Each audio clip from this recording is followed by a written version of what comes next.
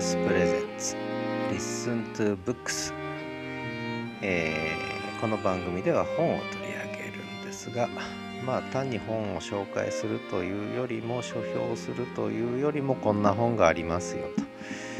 で、えーしかも、えー Listen to the Voice of Books ということでその本が何を言いたかったのかとその本の声を聞くというテーマでお送りするんですが3冊目はちょっと難しい本です、えーカール・ポランニという人。知ってますかね？カール・ポランニ、えー The Great Transformation The Political and Economic Origins of Our Time という本なんですけどこれはあの日本語に訳されて翻訳され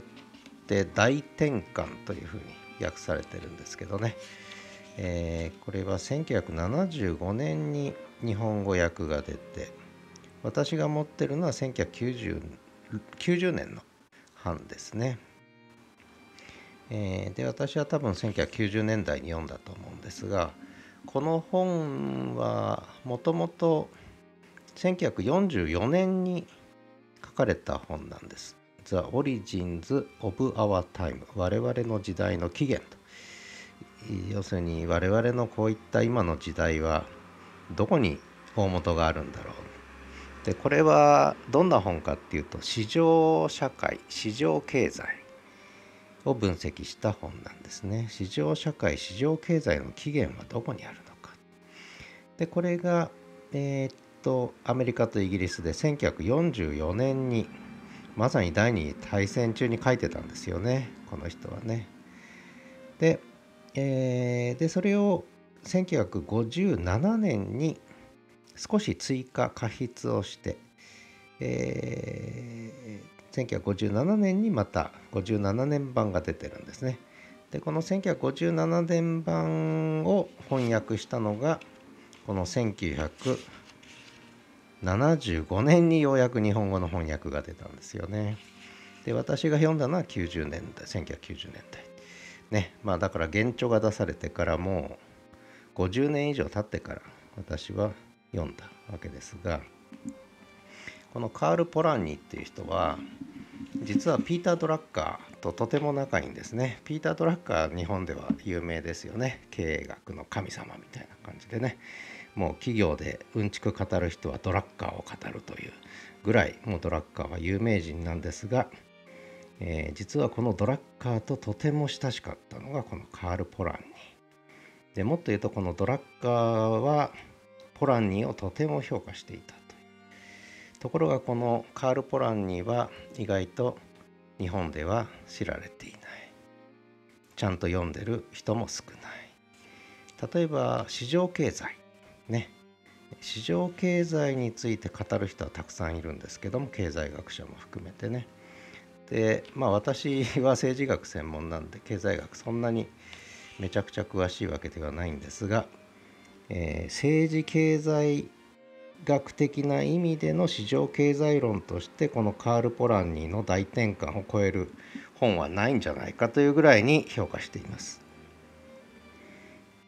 19世紀から市場経済というシステムが出てきたわけですね。これは非常に特殊な経済システムなんです。でその市場経済ってのは一体どういう社会的な意味を持ってるんだろうかということなんですね。で我々今市場経済について、まあ、これは必要だと。だけど一方で市場経済のこうマイナス面っていうかなネガティブな面っていうのにもいろいろ思うところあると思うんですね皆さんね。じゃあ一体この市場経済っていうのはどうやって生み出されてなぜ世界中に広がってしかもこの先どうなっていくんだろうっていうね、えーそれは社会にとってどんな意味を持ってるんだろうっていうことを一生懸命考えたのがこのグレートトランスフォーメーション大転換なんですね。えーその本の書き出しはこうです。19世紀文明は崩壊した。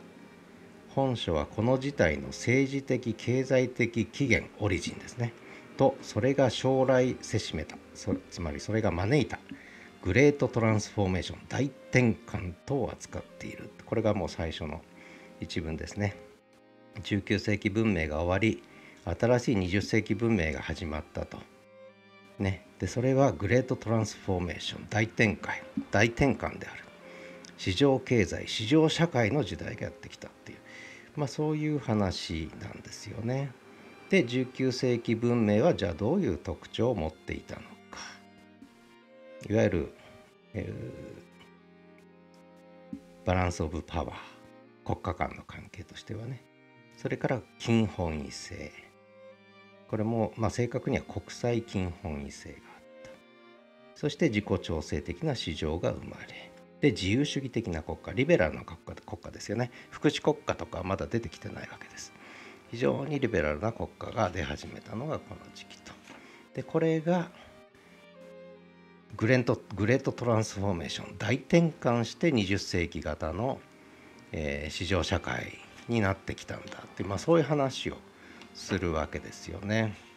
でこれはもう本当にあの何でしょうね、えー、なぜそれが生まれ、えー、世界を支配するっていうか、えー、世界のスタンダードになってったのかでそこにはどんな問題があるのかってねそんな話を書いてるんです。で、えー、もしまあ市場経済とかね、えー、語る人あるいはピーター・ドラッカーをうんちくで語る人、えー、それから今のこの資本主義について、いろんな思いを持ってる人はやっぱり一つの基礎的な知識のベースとしてこのカール・ポランニの大転換グレート・トランスフォーメーションは読んどいた方がいいと思いますね。で実は、えー、カール・ポランニまあドラッカーもそうなんですけどねドラッカーも新しい企業という組織形態が出てきてそしてそこにおける経営っていう問題が出てきてそれをやっぱり科学的に扱いたいと思って、えー、誰もやってないから自分が考えて作ったそれがピーター・ドラッカーの成果ですよね。カール・ポランにも同じような形で市場経済についてそういったことをまやった人だというふうに私はま思ってるわけですけどね。えー、でこの何て言うのかな一つの時代が終わって次の時代が始まると。でその輪郭は見えてるけれどもそれがどう展開するのか十分には分からない。だけどカール・ポランニは20世紀の初頭にその変化をまあ多くの人たちがねその変化は察知してたわけですがそれを可能な限り市場経済市場社会の時代だというふうにして捉えようとしたんですよね。で何が言いたいかというと今2023年になって実はまた大きなグラグレートトランスフォーメーションが起きてるはずなんですよね。えー、もう起きてきてるわけですよね。でそのグラグレートトランスフォーメーションつまり20世紀型のそれこそカール・ポラニーが分析したような市場経済市場社会の時代がまた違う形にまあそれをもちろんベースにしながらですけど違う形にグレートトランスフォーメーションしてしつつあるのが今の時代だと思うんですがじゃあそれは一体どういう変容で21世紀型の社会例えば、えー、2090年とかね、えー、2100年とかね。いう頃には一体何が起きてるだろうっていうね。つまりほぼ100年前、ね、100年経ってないんですがほぼ100年前にカール・ポランニーがグレート・トランスフォーメーションを語ったように我々はこれからあと5年10年15年ぐらいかけて次のグラグレート・トランスフォーメーション今何が起きてるのかで21世紀型の社会どうなってるのかっていうことをやっぱ本当は考えなきゃいけないんだと思うんですよね。まあ、そういう意味ではおそらく今2023年ですから、まあ、単純に100年サイクルになるわけじゃないけどもやっぱりでまだそういうものは出てるように思わないんですつまり1944年にカール・ポランニが100年単位で物事を考えたような時代の変化を捉えたような、えー、21世紀にすでに起きているこのグレートトランスフォーメーションをちゃんと説明して語ってるような本はまだ出てないというふうに思ってまして誰かがやってくれるんだろうなと思いますけどね。でも今まさにそういう時代に実は来ていると思ってね、えー、まあそういう意味ではそういったちょっと大きなね大きな動きで物事を考える時にまあまあいろんなそういう世紀の大転換ね、分析した本はいっぱいあります。市場経済について分析した本もあります。例えばシュンペーターなんていう人もねいろんなこと書いてるしあるいは市場社会が展開した後例えばダニエル・ベルなんて人もね脱工業化社会なんてことも言ってるし、まあ、他にもいろんな人がいます。でまあ極物みたいなことを言う人もいるけどもやっぱり社会科学としてまともに誠実にこう分析しててで時代のトレンド社会の輪郭次の社会の輪郭今起きている社会の輪郭こういったものをこう描こうとした本っていうね真面目にですよ売れ筋狙いじゃなくてね真面目に描いてる描こうとしてるような本ってまだやっぱりね21世紀にはまだ出てないと思うんですね。まあ、カール・ポランニーの書いたような本。あるいはピーター・ドラッガーが書いたような、えー、内容に匹敵するような内容。新しい時代のね。これにまだ出会ってないと。まあ少なくとも私は思うので。うん。まあ。でちょっと残念なのはやっぱりそういう発想でこう考える学者が減っちゃってるという。で実は第二次大戦第一次第一次大戦から第二次大戦にかけての時期っていうのは非常にこうそういう学問的な知識人のこう学問的な成果がたくさん出た時期なんですよね。つまり世界戦争みたいな極限状態でも起きない限りそういう真剣な施策みたいなのは生まれてこないのかもしれない。ねカール・ポランにもいろいろ、え、やっぱりその時代の中でね、えー、苦労したわけですしドラッカーもそうですよね。だそういうこう何て言うのかな。やっぱり何らかのこう危機的な時代にならないと戦争とかナショナリズムとかがねこうかなりこう、うん、まあ悲惨な形で起きるようなことにでもならないとそういうふうに多くの人がね、えー、考え始めないのかもしれない。どうしてもちょっと表面的なところでね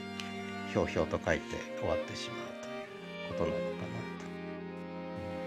なと。まあ別の言い方すると本気度ですよね社会を把握しようとする本気度がまだまだ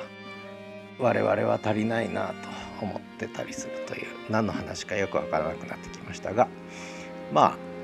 あね、えー、カール・ポランに大転換まあちょっと専門的な本読んだことある人じゃないと読めませんし今はこれどうなんだろう。古本以外で手に入るのかな？ちょっと調べてみますけれども、まあ、もしかしたらねこの番組エピソードを聞いて経済学の勉強してまあいろいろ読んできたけれどもそういえばカール・ポラニーポラニーの大転換は読んだことがないなという人は是非読んでみてください。カール・ポラニー大転換、えー、日本語の翻訳の副題は市場社会の形成と崩壊。というふうに書いてありますね。ザ・グレート・トランスフォーメーション。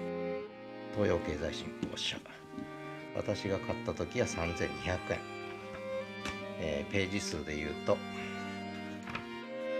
え426ページ427ページありますね翻訳本はね。なので分厚いですね。2センチ以上。2センチぐらい。分厚さありますけど。まあ市場経済興味ある方それからピーター・ドラッカーとか大好きな方はね、えー、合わせてカール・ポランにもぜひ読んでほしいということで紹介してみました。ではまた。